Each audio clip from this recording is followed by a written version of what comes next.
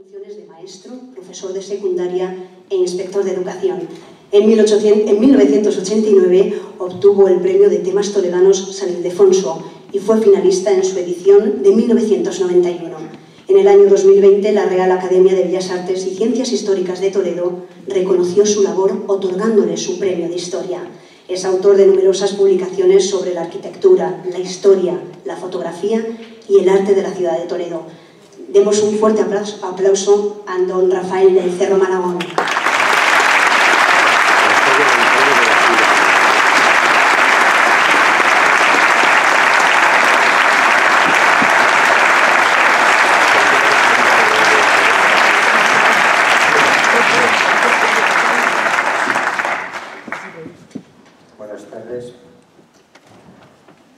Academia Española define pregonero como la persona que publica o divulga algo que es ignorado o lo que se quiere hacer saber a todos. Siglos atrás se asignaba a un servidor edilicio difundir anuncios de asuntos varios a viva voz en las calles, con el redoble de un tambor o el clangor de un clarín.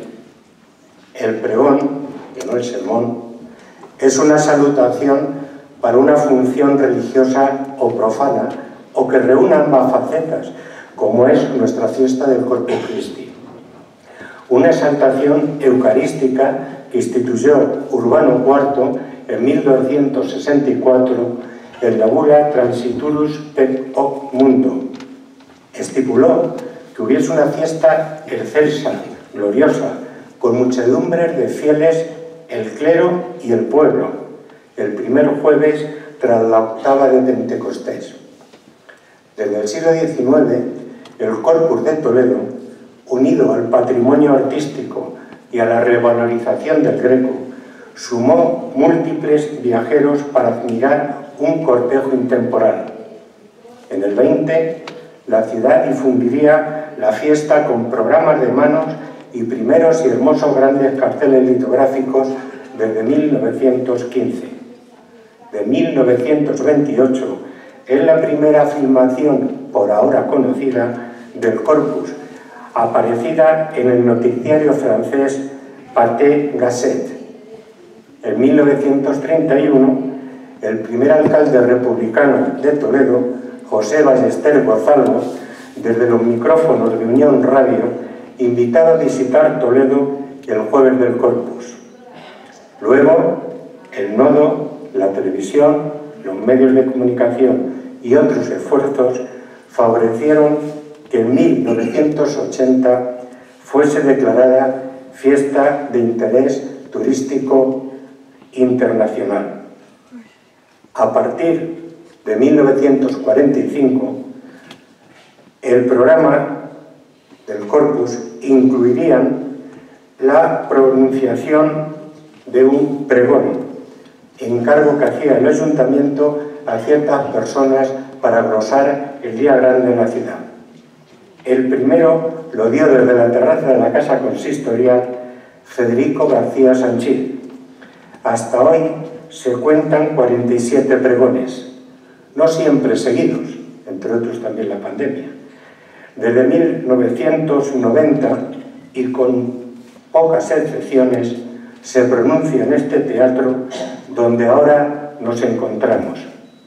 Les invito a ver y rescatamos aquellas tempranas imágenes de aquel corpus proyectado, producido y titulado Fe de Die Toledo en 1928.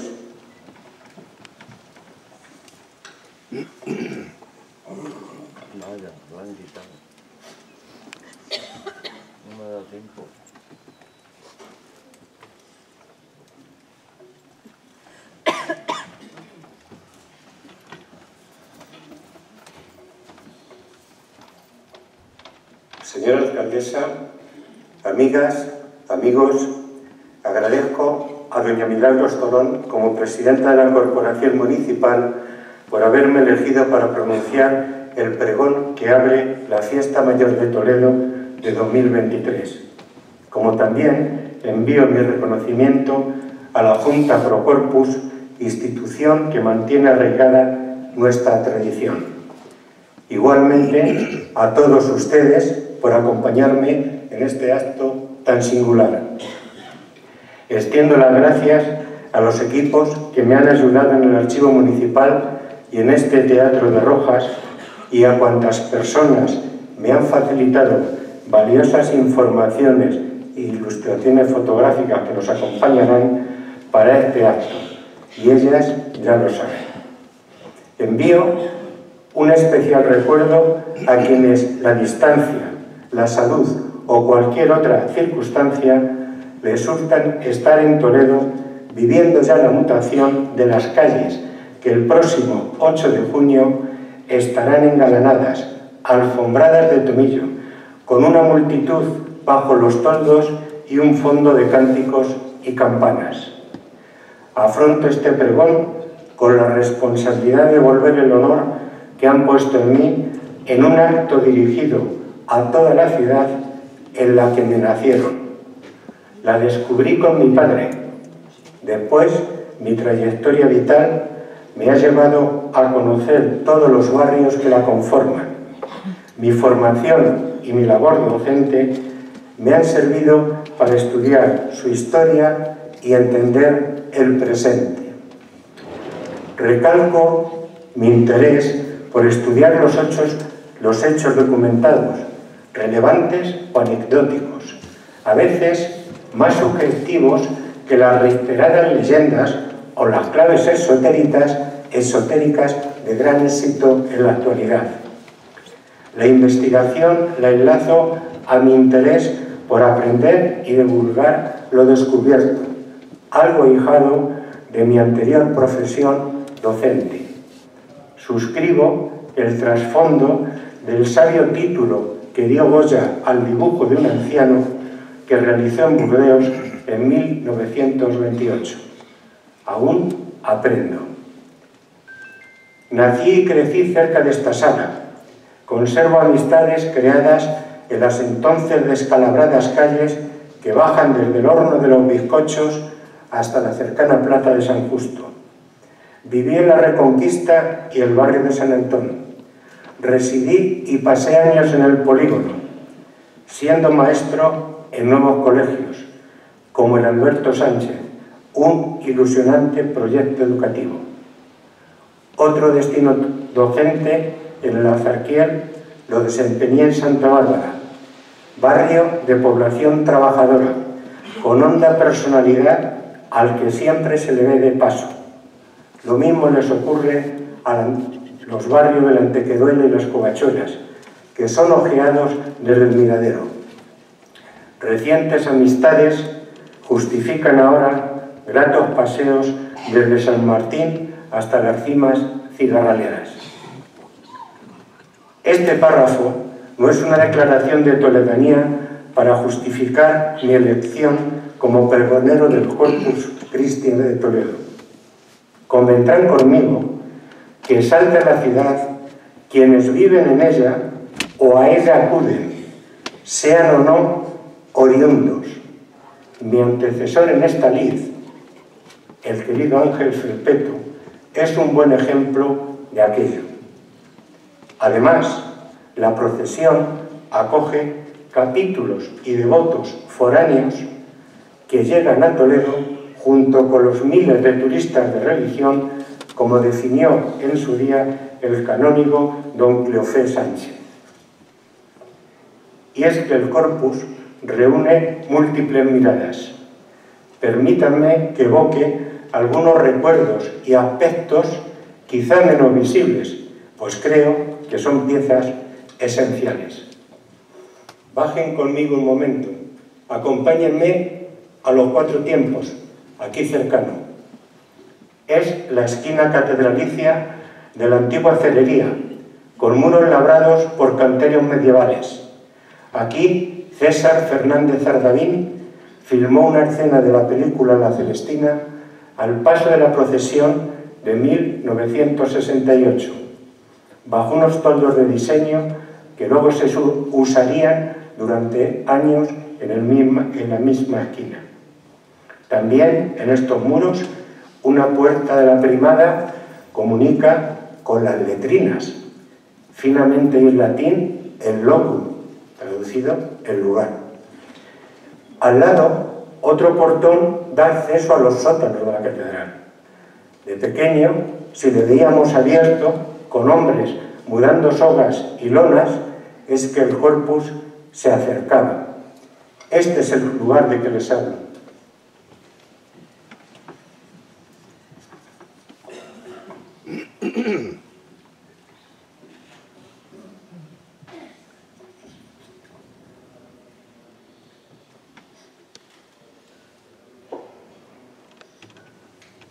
Pero en la fiesta existen lógicos, los lógicos preparativos. Todos notamos que un mes antes del corpus, los operarios municipales ponen en las calles los cielos, un palio que serpentea a lo largo de 1.600 metros. El cabildo se ocupa de los 300 metros de toldos con emblemas arzobispales que rodean la catedral. Para colocarlos se extienden en el suelo, Luego se izan con garruchas, escaleras, ahora también plataformas hidráulicas y cuerdas hasta los saledizos de las fachadas. En el fondo es un afán marinero para asegurar la travesía hasta el día grande, lo que implica la reposición inmediata de las lonas cuando una tormenta las ha rasgado. Siempre fueron recogidas por mano femenina, que por cierto, en el siglo XIX aquella tarea la efectuaban en la espaciosa galería alta de nuestro ayuntamiento.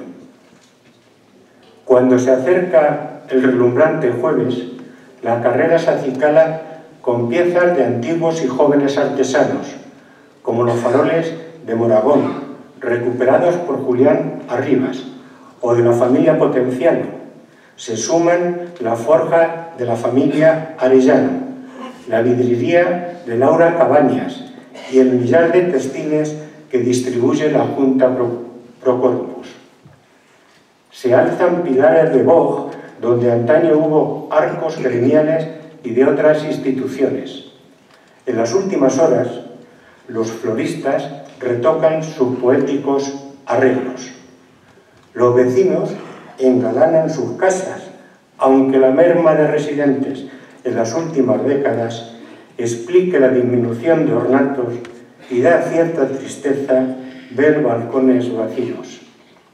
Las sillas atadas de los vecinos en las calles revelan también el periodo festivo más cercano del Corpus de Toledo.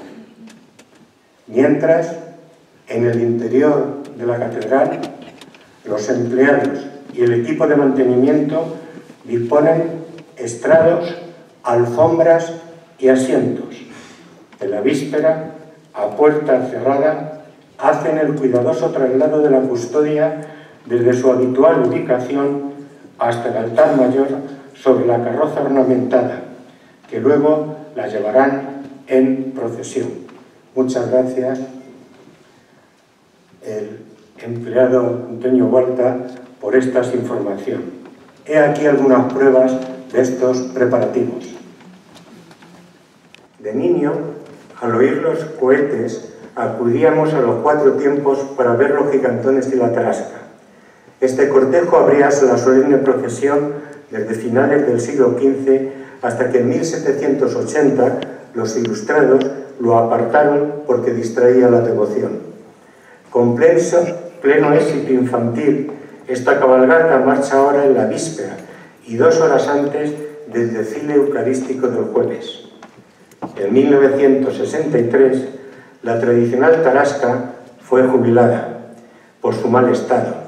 Quedó varada en las claverías, con los viejos gigantones del siglo XVIII que recientemente se disponen en la terraza del ayuntamiento. Recuerdo que vimos pasar solo cuatro gigantones y algo ajados. Nos daba igual.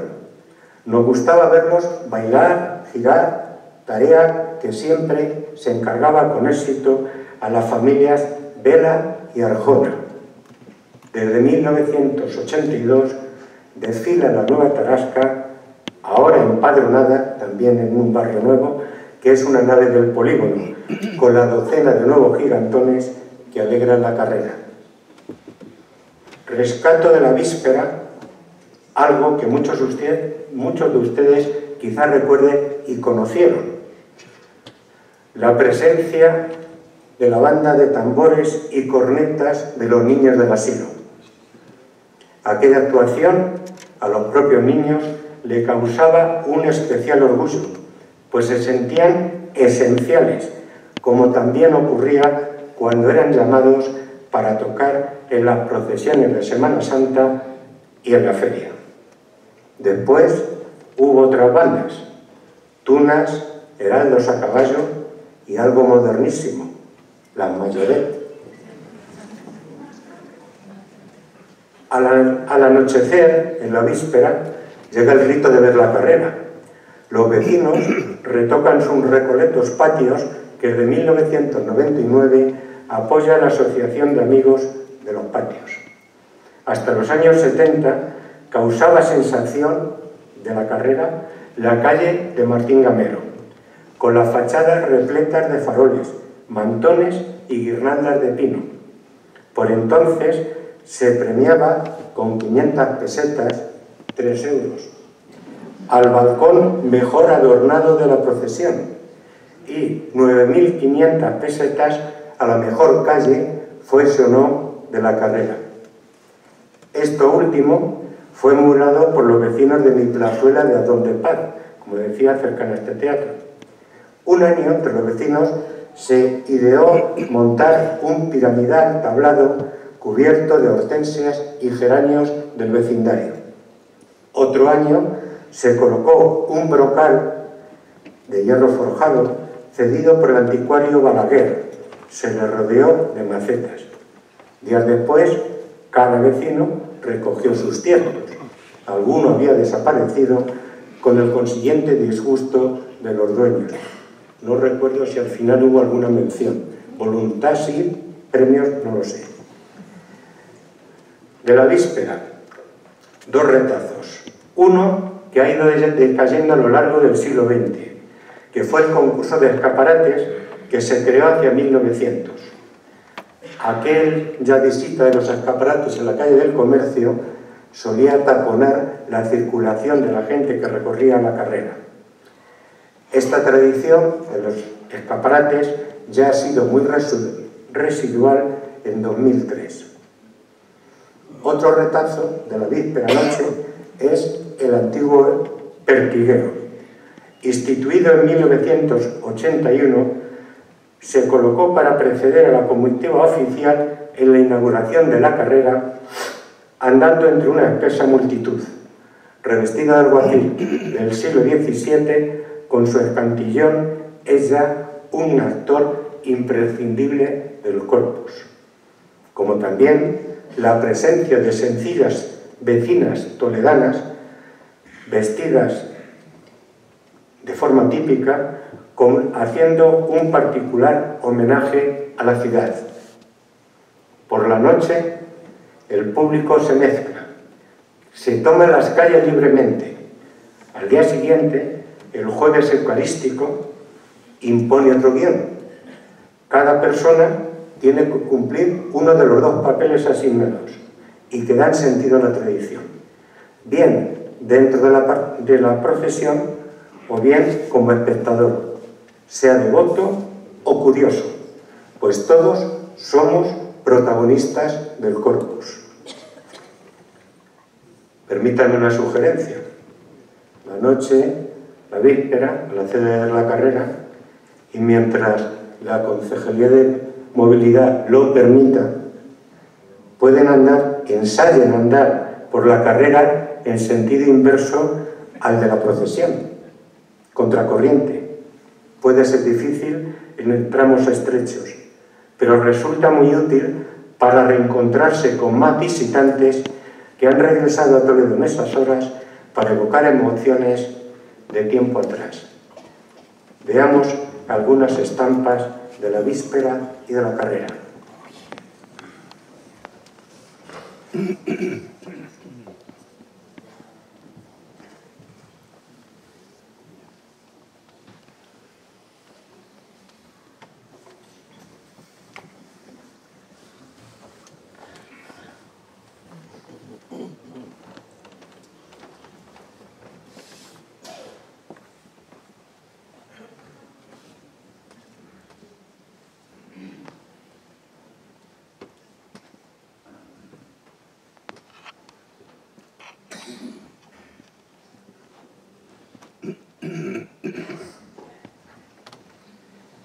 El día grande. En la madrugada del corpus, la metamorfosis de la carrera alcanza los muros de la primada, vistiéndolos con tapices renacentistas y barrocos como se los grandes fastos. El turno final corresponde al humilde tomillo esparcido por el suelo, que como expresa José Antonio Marina, pone el olor a romería en las calles. O como amplía Manuel Vicente, un perfume que te lija la nariz hasta el fondo de la infancia.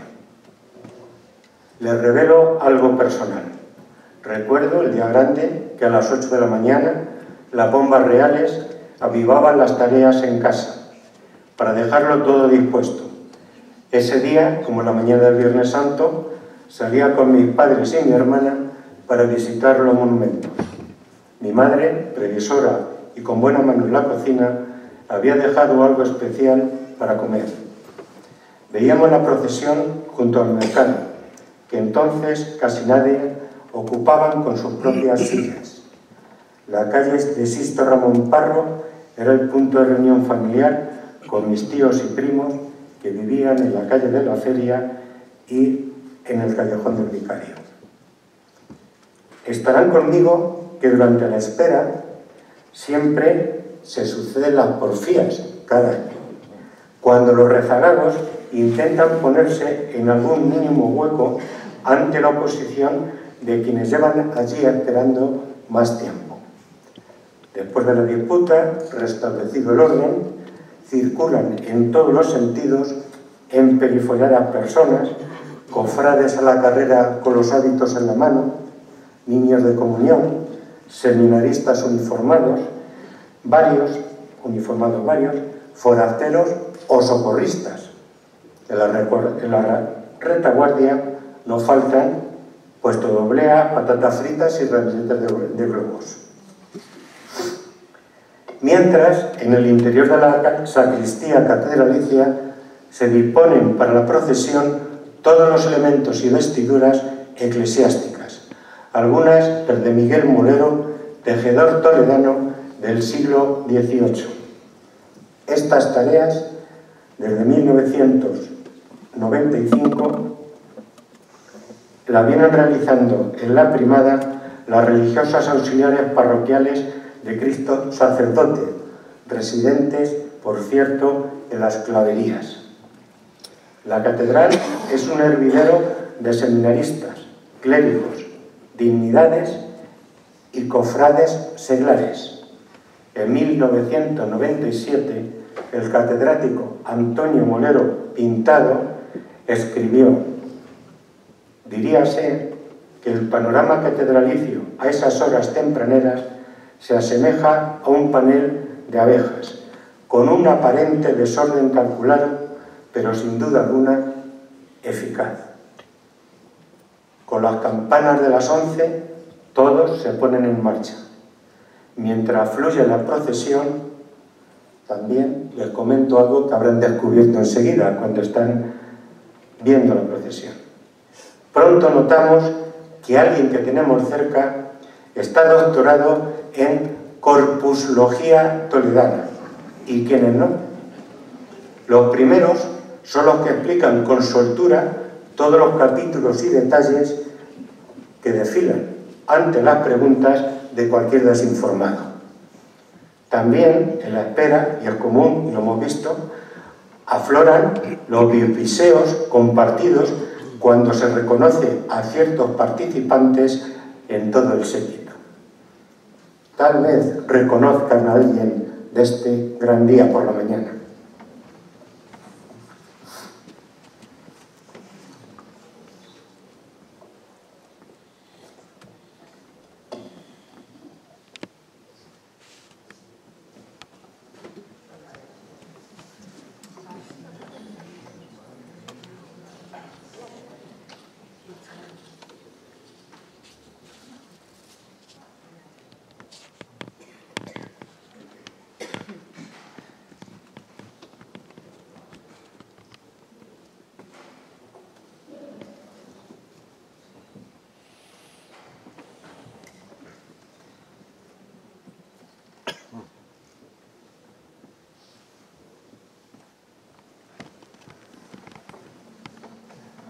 Veamos, les ofrezco, la cita o el repaso de otros protagonistas de nuestro corpus. Abre la procesión el piquete de la Guardia Civil sobre flamantes caballos que siempre nos inquietan cuando se paran del año. Más tranquilidad ofrecen los equinos, quizá menos vistosos, pero con un auxiliar a pie. Nos ofrecen esta tranquilidad los uniformados timbaleros del ayuntamiento. Uno de ellos Hilario, al que tras faltar le sustituyeron con orgullo sus hijos en este cometido. El desfile eucarístico lo abre el pertiguero, un sacristán con capa blanca y peluca dieciochesca. Tras él, durante años, recuerdo ver a Tomasito el Chato, con una brillante dalmática, guiando la gótica manga del cardenal Cisneros con otros compañeros igualmente revestidos. La profesión de todos ellos era la de cargadores del mercado. Eran también contratados a lo largo del año para llevar las imágenes de las hermandades de la Semana Santa y de otras procesiones. La carroza que ideó Miqueles en 1781 para pasear la custodia la manejan dos auxiliares exteriores con jugones y pelucas. En el interior, otros operarios empujan escondidas las ruedas. Blanco Ibáñez, en su obra La Catedral, situó al agitador Gabriel Luna precisamente en esa velada tarea que le permitió ver secretamente las calles de Toledo que llevaba años sin pisar. Y es que buena parte del cortejo hay dispares personajes, protocolarios, como los que llevan los cirios y los incensarios. Recurrimos a la RAE, acólitos que la RAE denomina ceroferarios y turiferarios. Pajecillos con canastos de pétalos que felizmente se recuperaron en 1981. Alguaciles, sofieles o maceros, que ya retrató nuestro fotógrafo toledano Casiano Alguacil hacia 1870. Son objeto de especial atención los heraldos de la Diputación con sus plateadas mazas y su vistosa indumentaria. Ellos y otros actores populares lo reflejó el recordado pintor Tomás Peces en 1993 en grandes óleos que le encargó la Diputación Provincial para decorar la carrera. Cuando la custodia sale por la puerta llana, las bombas reales retumban en todo Toledo.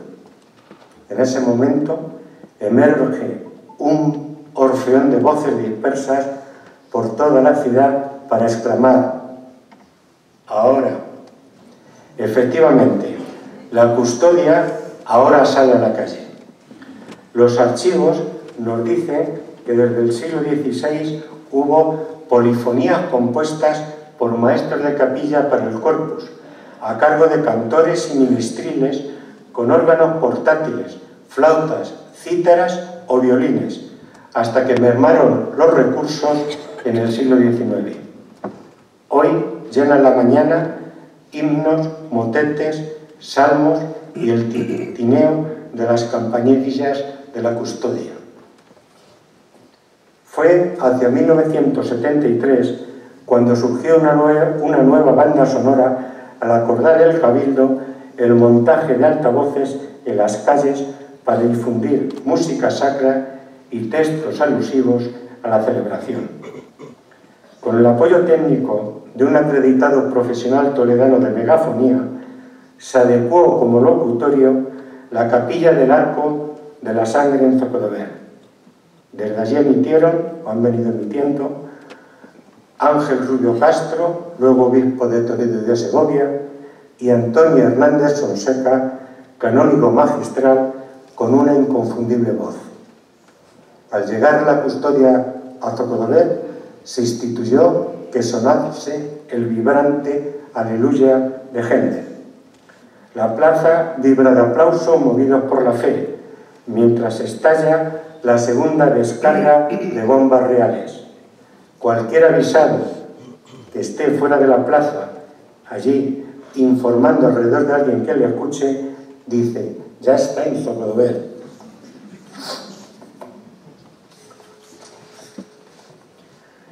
Desde 1972 la procesión hace un alto aquí para escuchar la homilía que estableció el cardenal don Marcelo, seguida con la bendición con el viril extraído de la custodia.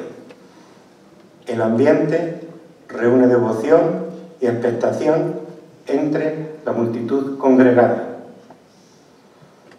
Observemos los balcones cercanos al Arco de la Sangre, actualmente de la delegación del Gobierno en Castilla-La Mancha. Desde 1945 se convirtieron en los palcos más privilegiados del corpus.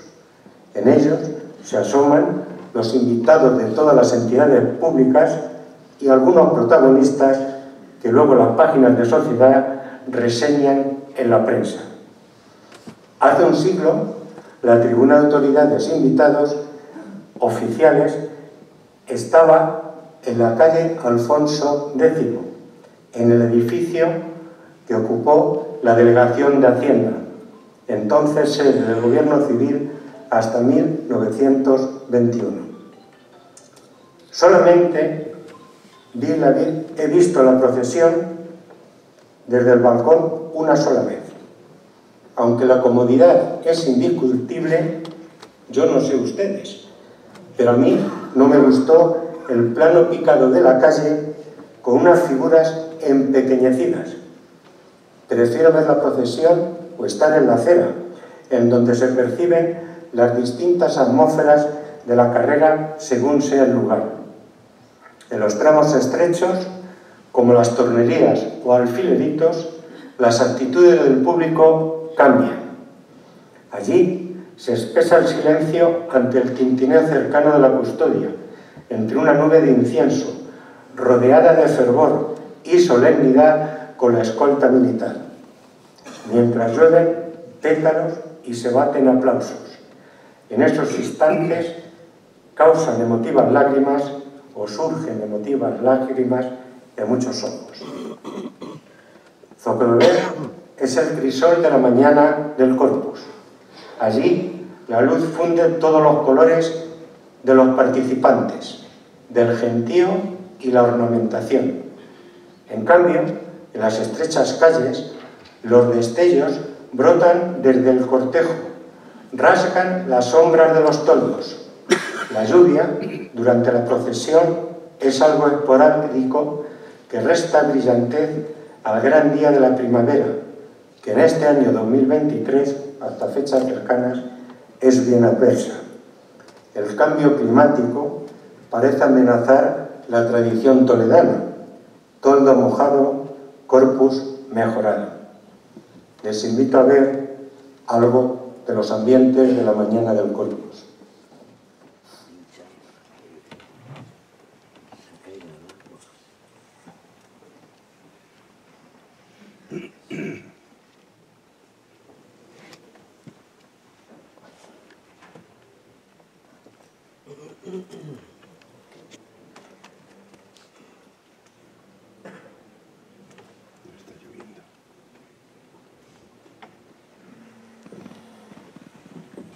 El Corpo Christi de Toledo son una mezcla de religión, de historia y cultura que dan cohesión a la toledanía. El conjunto se percibe como una tradición inmutable. Sin embargo, la ciudad cambia en el tiempo y la fiesta también lo hace. En el primer tercio del pasado siglo XX, salvo las vestiduras litúrgicas del clero, los cofrades procesionaban sin solemnes atavíos, ni cromáticos atuendos como los que aparecerían posteriormente, sobre todo en la segunda mitad del XX. Otro aspecto es que, salvo la presencia de las niñas de comunión, la procesión siempre fue masculina. En 1979, las primeras mujeres del cortejo fueron las concejalas del nuevo Ayuntamiento Democrático. A partir de 1982 por deseo del cardenal don Marcelo, desfilarían ya en nuevas congregaciones, como fue la hospitalidad de Nuestra Señora de Lourdes, o bien en algunos capítulos que distinguieron los brazos de caballeros y los brazos de damas.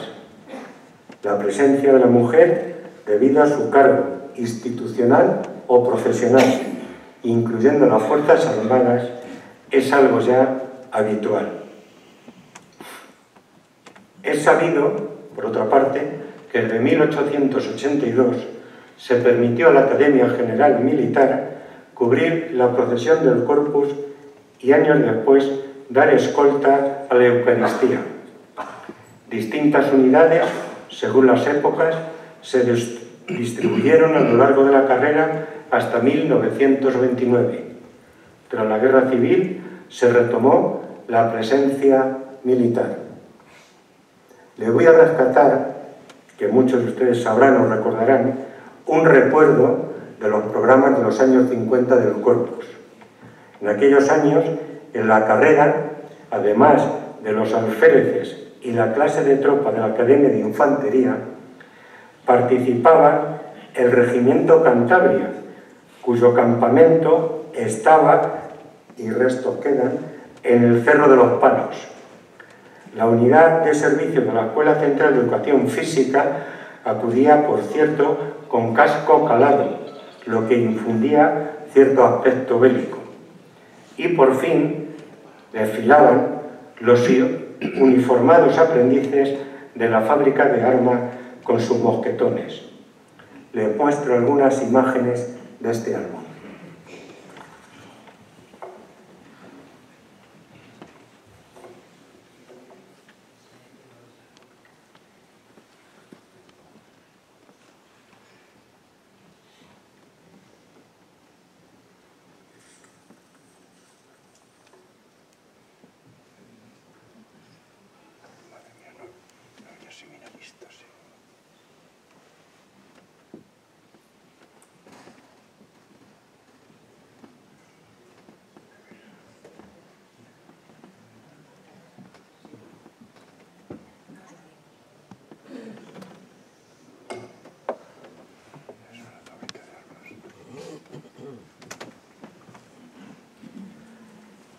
Vamos llegando al final. Durante más de dos horas, el Corpus Christi ha recorrido las calles según el espíritu de la bula de Urbano IV, con gozosos cantos de alabanza. El retumbar de las bombas reales señala el tercer acto, la entrada de la custodia en la catedral.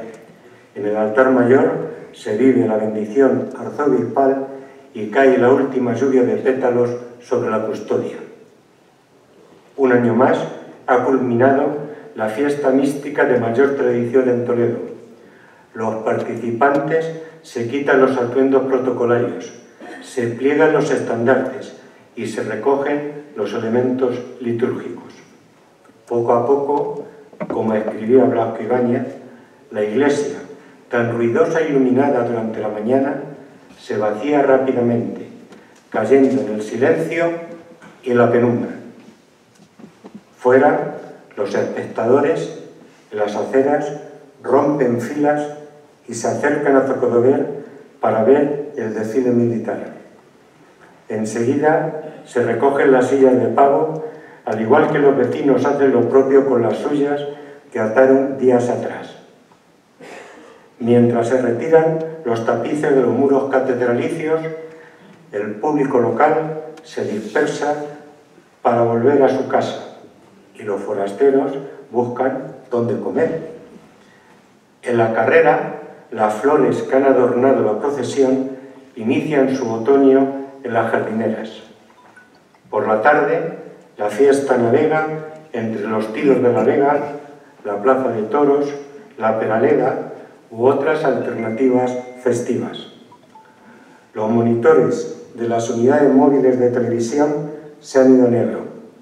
La emisión ha permitido que se haya visto en directo en cualquier rincón del mundo el Corpus de Toledo, lo que le hace más internacional.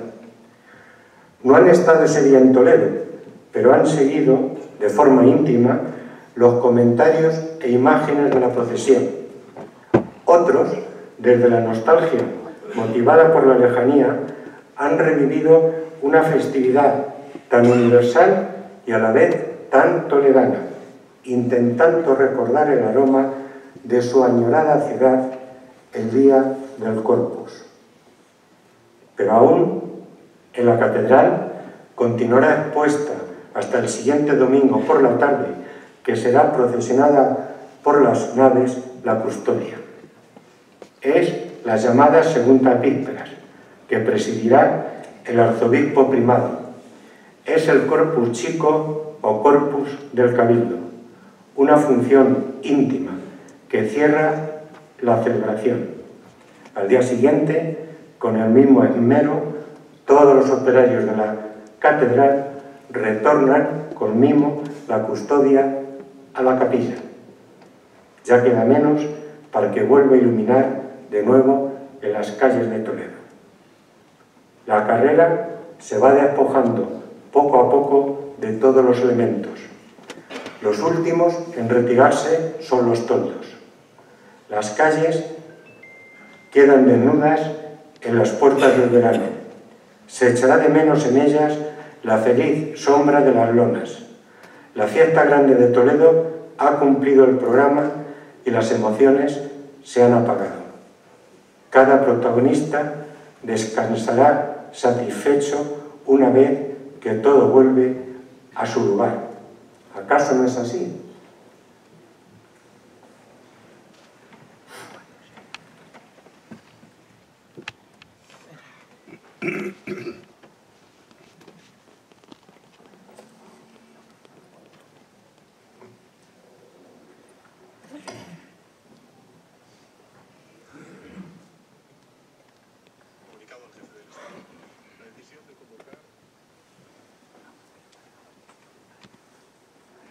Pero hoy estamos en el pórtico del Corpus Christi de 2023, una fiesta religiosa y una tradición que alimenta recuerdos de la infancia, de familiares y amigos, orgullo de nuestra ciudad. Demos la bienvenida a cuantos vengan a compartir, sean cual sea, sus inquietudes e intereses. Vivamos este jueves que relumbra más que el sol.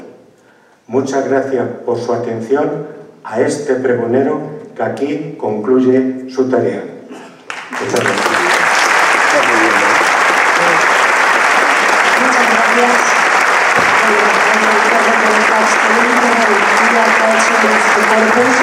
y la historia de nuestras calles, de nuestro casco histórico de Toledo.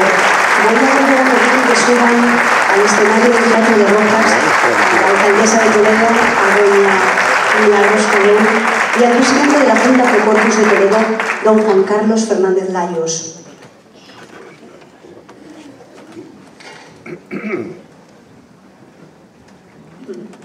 Ellos van a proceder a la entrega de la placa de reconocimiento a nuestro querido pregonero de este 2023.